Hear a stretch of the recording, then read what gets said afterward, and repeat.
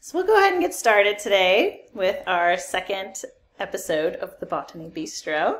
Uh, today we're going to be highlighting some of the historical botanists that have come before and getting a little bit of a sneak peek at some of the future botanical endeavors that we will be exploring next week.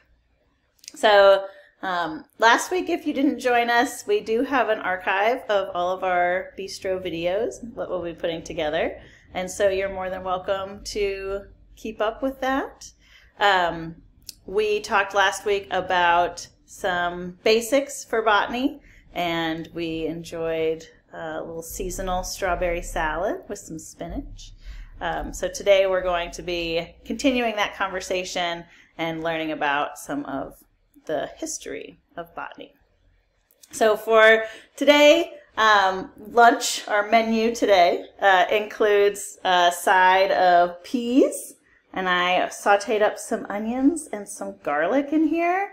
Uh, gave it a little seasoning with some mustard, put that all together, a little white wine, um, and it's really come together nicely. So we'll be talking about a few of these ingredients today, and then we'll be able to have time at the end for questions um, and just some sharing. So I'll let you turn on your microphones and your videos at the end of the lecture today. Um, but we'll start out uh, just talking a little bit about the history of botany. And um, then I'm going to give you a little bit of homework, just like last week. Uh, last week's homework was to observe a leaf for one full minute. And so hopefully some of you were able to do that and appreciate the complexities in something that we often uh, take for granted as very simple, and it's not always so simple. Let me introduce myself to those of you who don't know me. My name's Mary Dudley, and I am the Ecology Education Manager at the Civic Garden Center, which is where we are hosting Botany Bistro every other Friday. Uh, so glad that you could join us today. Botany Bistro will be free for anyone who wants to join in, and like I said, we will be archiving all of the videos. So if you can't join for any particular session, just know that you can catch up at any time.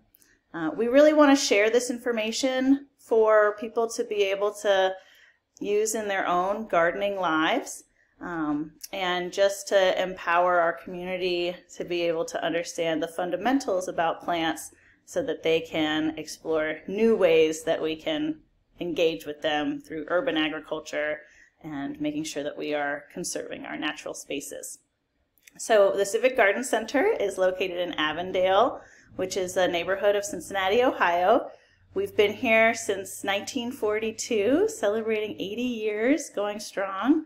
We were started through the Victory Garden movement and since then have continued our passion for education urban agriculture and conservation in many different ways. And so there's lots of opportunities to get involved here at the Civic Garden Center if you've never come to see us. So be sure to come visit sometime. I have a love of plants, a love of nature that I've had since I was very young. I graduated from Miami University in Oxford, Ohio with an advanced degree in botany and just can't get enough of these amazing organisms, uh, seeing how they grow and change and seeing the different variations between species is very exciting. Um, so I'm always down for a plant walk. I really enjoy traveling to seeing new ecosystems. Uh, and so Ohio has always been a place I call home because of the beautiful flora that we have.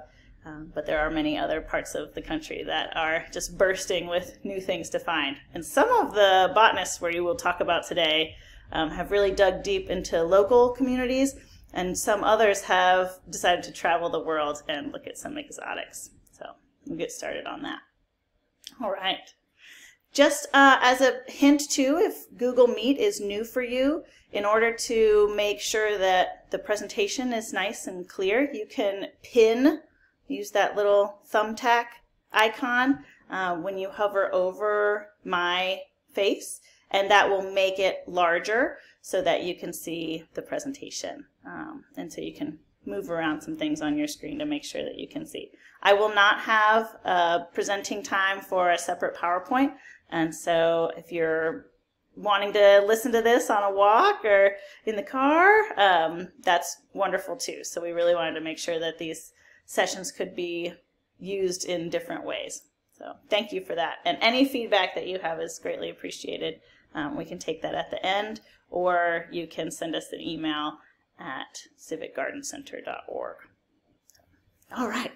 Well, let's dig into it. Let's dig into botany and the history of botany um, and what is this world all about and why you know am i eating peas and onions and garlic today so we'll figure out the mystery um, of our meal so the first person to kind of call themselves a botanist according to the records that we have um, was a student of aristotle theophrastus um, and he lived from 30 371 to 286 BC.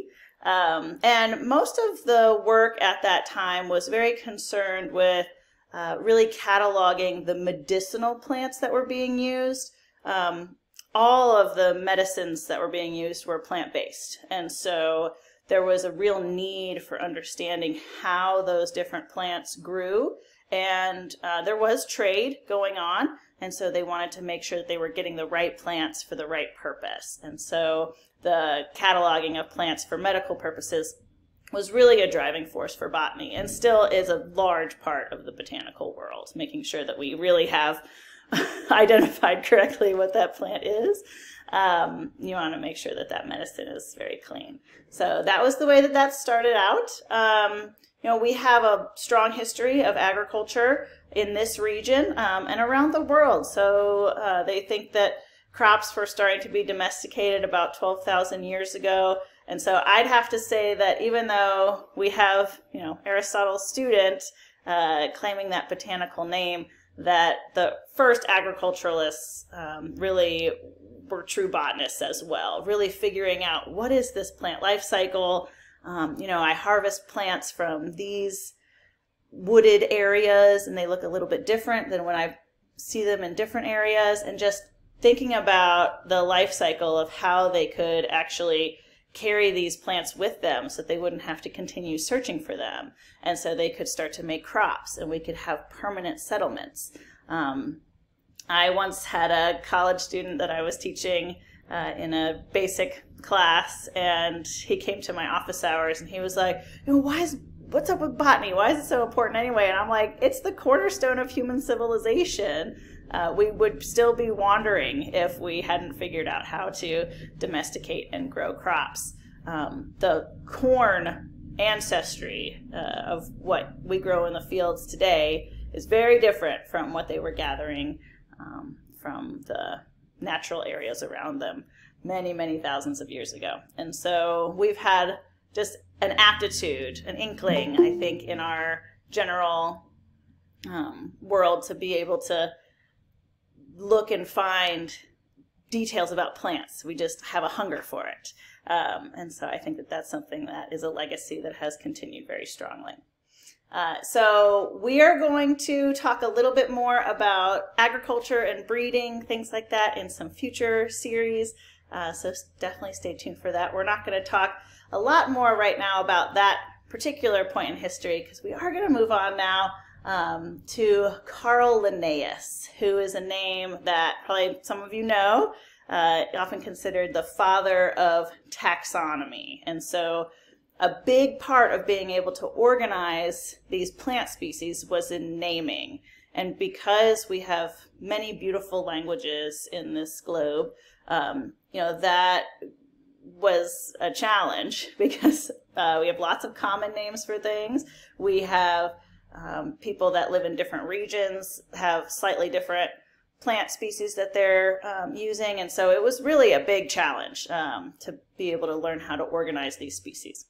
And so none of the botanists I talk about today worked in a vacuum. I want to make that very clear that there are uh, players behind the scenes that didn't make it into the history books. Um, and so I'm sure that there were a whole whole teams of people uh, that sh we should be honoring in our chat today. Um, but I'll be picking out just a few um, for us to look at. But if this is something that intrigues you, uh, there is lots of research you can do about the history of botany. But we'll talk about Linnaeus. Uh, this might be a little bit of a biology class review for you.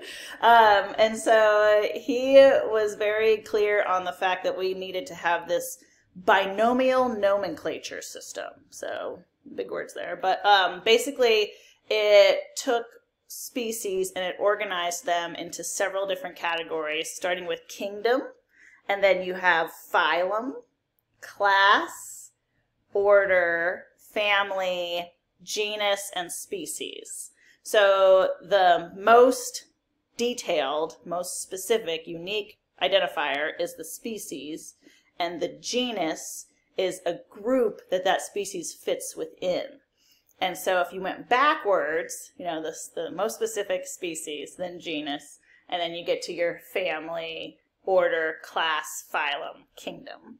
Uh, and there are different acronyms we probably all used in high school to try to remember that for the test. Um, but uh, that was something that he took research that had been done at the time and then said, you know what, let's start naming these species with genus and specific epithet, is what that's called. And so when you see a botanical name, you'll often see a common name. And then in parentheses or in italics, or maybe both, um, you'll see the binomial nomenclature name. And typically those are uh, have kind of a Latin base to them, and so you can figure out what some of those base words, when those roots mean when you're talking about the plants. Um, and then some of them are named after people. So uh, it's a pretty interesting naming system that was widely adopted by many of the explorers and naturalists uh, at the time. And so we've kept that uh, since then. And so we still use binomial nomenclature now. So that was the work of Carl Linnaeus. Uh, he was Swedish and he also um, published a book called the Genera Plantarum in 1737, which meant that he became this global authority on plants. And so when other uh, scientists and researchers were trying to identify their plants, they would send samples. Um, and these were actual samples. You know, you're not taking a photograph and emailing it. like taking actual uh, species from work sites, from farms, from natural areas, uh, putting that together and sending it in a large package and saying, okay, Carl, can you help identify what this is? And if it was a new species, of course, that was very exciting.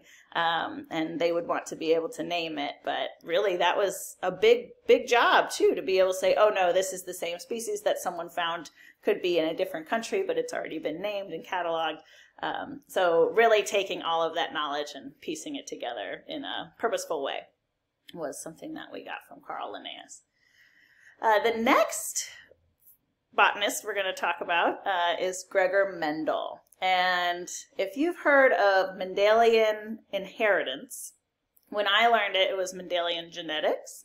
Um, but since Gregor didn't have any uh, training or, or they didn't have any knowledge at the time about DNA, uh, they call it inheritance. And so that's surprise, why I'm eating peas today goes along with our uh, chat about Gregor Mendel. And so Gregor Mendel was born in the Czech Republic and became a priest. And so he was in a monastery doing lots of work, also doing lots of teaching. And over the course of a couple of years, 1854 to 1856, he was really working hard on trying to figure out why certain traits were expressed and why certain traits were not. He chose to do this with pea plants. Um, and so he chose this because if you look very carefully at a bag of pea seeds, you know, next time you're just randomly looking at pea seeds, um, you can notice some genetic variations, some differences. And so there are some that are more yellow, there are some that are more green, there are some that are a little bit wrinkled, there are some that are not. Uh, and so he's, oh, okay, I see all these differences in these seeds. Why is that? And then when you grow out a pea plant, it will often have blooms that could be slightly different from other varieties. So you can have pink flowers, you can have white flowers, you can have a light purple flower. Uh, and how does all that affect one another? So he was very concerned about figuring out the details on this because he had worked under the tutelage of other people that were very interested in the physics and the chemistry of plant breeding. Um, and so this was actually interesting because Gregor Mendel was not famous in his time. His work was rediscovered about 50 years later. Um, it had been distributed in some small circles, but we now teach this lesson to students constantly. And if you think about some of the ways that we discuss genetics, it really was the basis for what he was doing. And he was able to figure this out with very limited uh, tools, um, but with a lot of intelligence behind it. And so he took pea plants and he would cross pollinate them. And so he had to know about the pea life cycle. He had to figure out that this parent had red flowers and this parent had white flowers. And when I cross them together, they're not all pink. And so the existing thought at the time was that characteristics and traits blend together so that two parents would just have a blend. Whereas now we know that some of our traits and characteristics are dictated by dominant and recessive alleles, genes. And so that all that knowledge came forth from Gregor Mendel uh, doing experiments on peas. And so you can think about they have the four square, it looks kind of like a window pane, and you'll have your dominant recessive, your dominant dominant, your recessive recessive. And so it happened at this um, ratio that he was noticing lots of patterns. And so he was putting that together. Um, and I like the fact that he continued to do his research even though it was not a popular idea at the time. And maybe that was some of the driving force in him not heavily publishing. Um, but it's very neat to think about every time we eat a pea that the genetic properties of those plants uh, really built up a lot of the first stages of botany. Um, another wonderful uh, contributor to botany is George Washington Carver, who uh, kind of came out to be a botanist in a different way. So uh, he was attending school at Simpson College and um, in 1888, and he was drawing lots of pictures of plants. And the detail that he was putting into these beautiful pieces of art was attracting some attention from his professors. And so he was encouraged to go to uh, Iowa State University and study agriculture and study plants and botany. And so George Washington Carver, we all we might have heard about him in school. Um, he did a lot of things with peanuts and peanut production. Uh, he did not invent peanut butter; that was uh, invented thousands of years prior. Uh, but he really came up with this idea of crop rotation.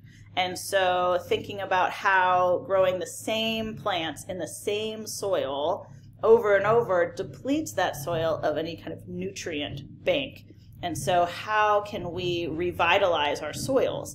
And so, he encouraged farmers in the South to plant peas because peas are a legume, um, or sorry, peanuts. to plant peanuts. I'm on peas, and they're also legume.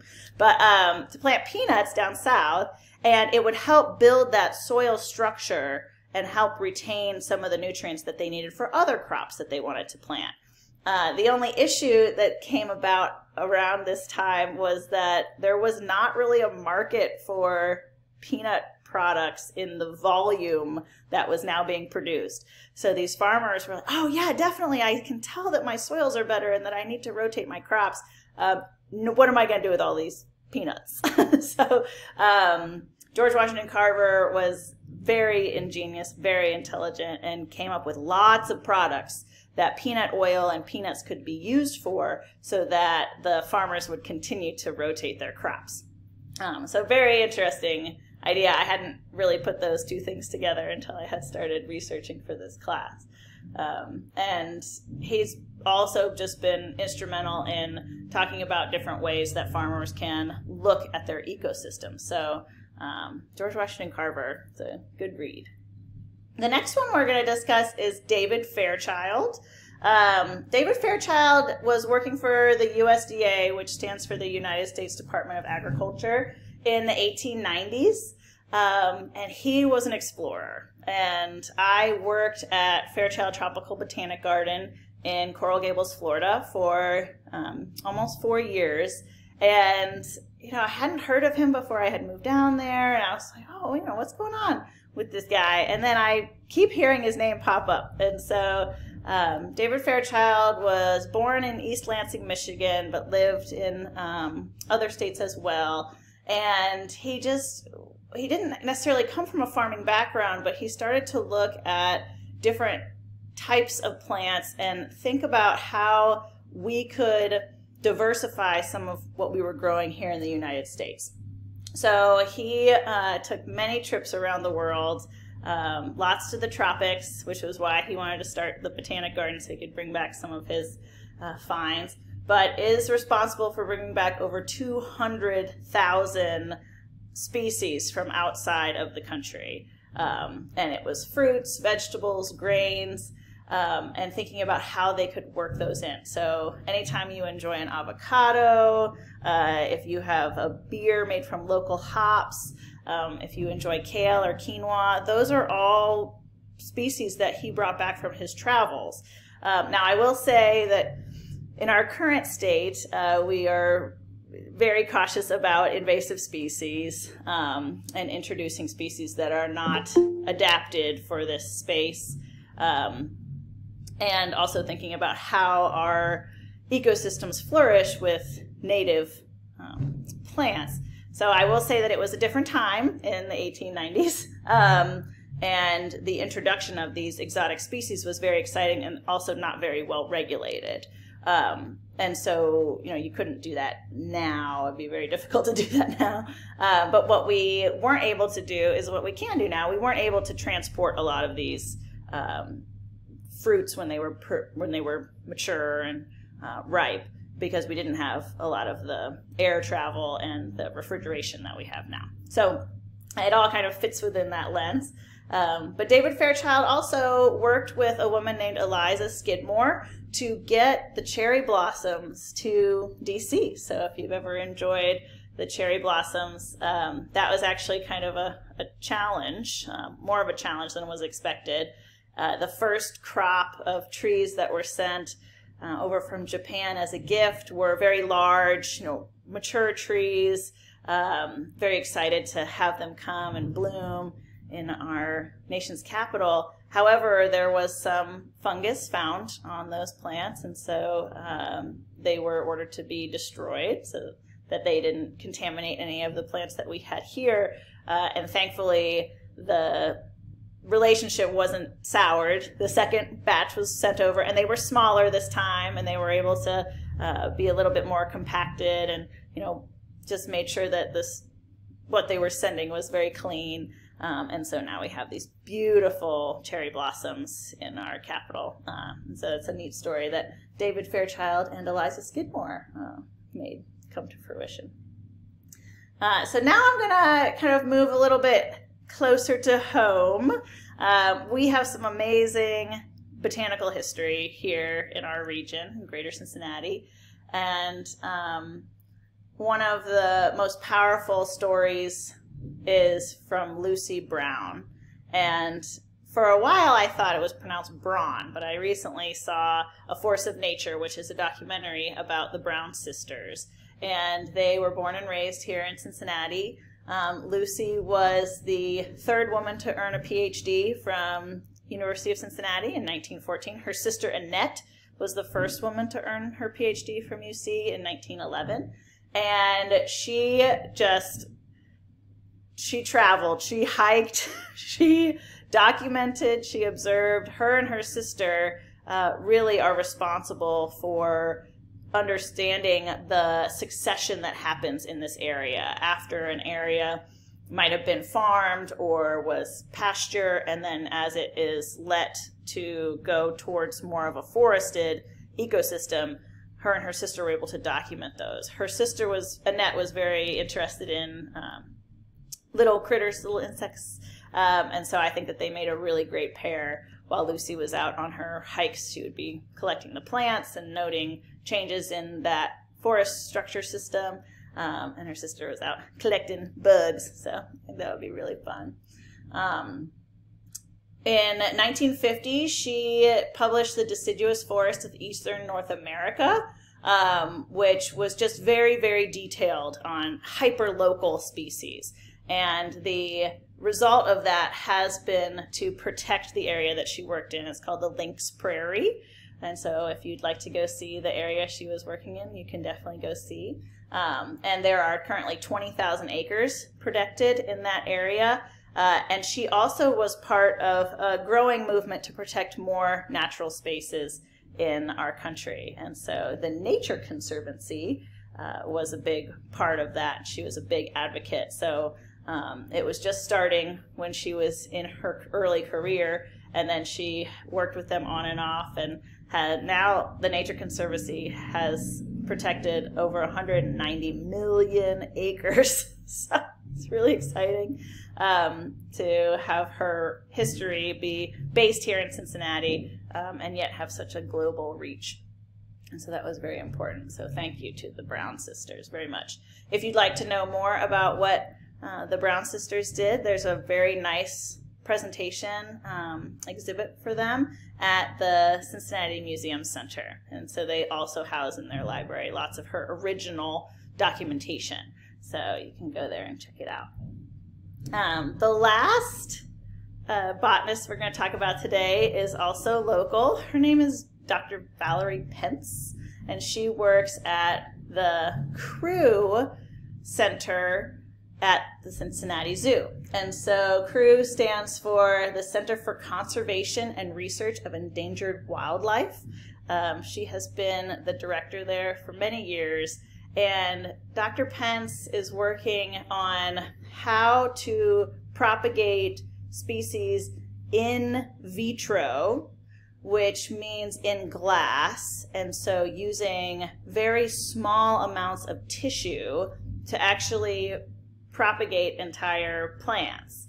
And so I won't go into a ton of detail right now on her work because I am going to have another session on biotechnology uh, later. But the basicness of it is so it, it, it's wonderful to be able to take not a whole plant when you're studying endangered species, right? You don't want to remove possibly, you know, the only individual, um, but you can take a few cells on a leaf and from there, you can preserve those cells. And then she does research on figuring out what is the best growing medium. How do you propagate this um, so that we don't lose that heritage, that botanical heritage of our world, um, really protecting that. And so I think that that research is just so exciting. And it's just happening right uh, out our back door. So um, she is also on the board of the Lloyd Library Museum and has published over 188 scientific papers um, and book chapters. Now, when I say in vitro, that is juxtaposed by in vivo, which would be in the ground. Um, and so it's a, it's a very different type of gardening. A lot of orchids are propagated in that way. Um, but yeah, if you go to their center, you'll see lots of little glass test tubes all lined up um, some of them growing things, some of them uh, just starting to get their little pieces put in. So very exciting work over there. So that is a roundup of our um, botanists. And so uh, just to review, we talked about Theophrastus, um, who was a student of Aristotle. Uh, we mentioned Carl Linnaeus, and then we talked about Gregor Mendel, George Washington Carver, David Fairchild, Lucy Brown, and Valerie Pence. Um, and so those were the folks that we highlighted today. Now, there are a couple of other botanical things I wanted to talk about uh, as our lunch goes. And so um, I have a couple of things in my lunch bowl today that um, we can discuss. So we already talked about the peas and how important peas are because of all the studies that Gregor Mendel did. Um, but I also have onion and garlic in here. And I wanted to mention those because they are a type of plant that produces a modified stem. And that modified stem is grown into a bulb. Um, now, there are other plants that also do this uh, in different ways. And some of them are modified roots, some of them are modified stems. So you really kind of have to sort through what you're doing. But for the onion and the garlic that I'm using today, they are modified stems. And I think that that's really interesting because if you think about these bulbs that grow under the ground um, and how they are storage units for different starches and uh, energy sinks so that the plant will have those in times of need.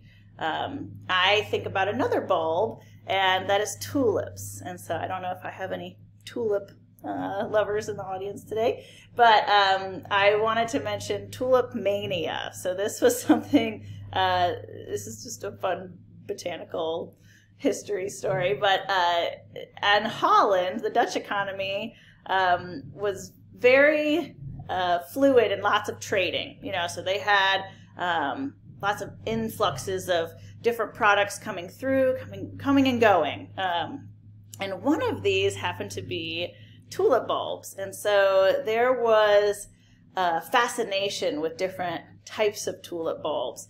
And, um, you know, we all kind of, I think, in our minds can imagine the typical tulip. Um, but if they had the petals multicolored or if they were feathered, uh, then that was a very big deal. And so people started to want these tulips, prize tulips. People were paying, in our today's prices, exorbitant amounts. Um, you know, the price of a brand new car and the price of a house uh, just for singular bulbs.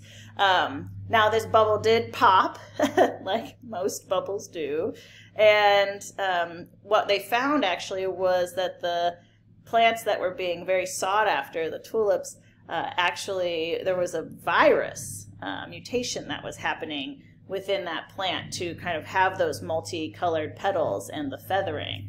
Um, and it just wasn't sustainable. It made them very sickly. And so you couldn't guarantee that you were going to be able to gather seeds from that and continue to propagate it. And so um, as they kind of started to focus on these species that were not very fertile, um, that whole uh, idea kind of crashed. So uh, it, I, in my research for this session, it doesn't seem to be as big of a deal maybe as the botanists that I hang out with talked about it. You know, like it wasn't necessarily an Easter Island situation, um, but tulip mania was still a pretty interesting part of our history. And anytime people, you know, go gaga for plants, I'm here for it. that was pretty funny.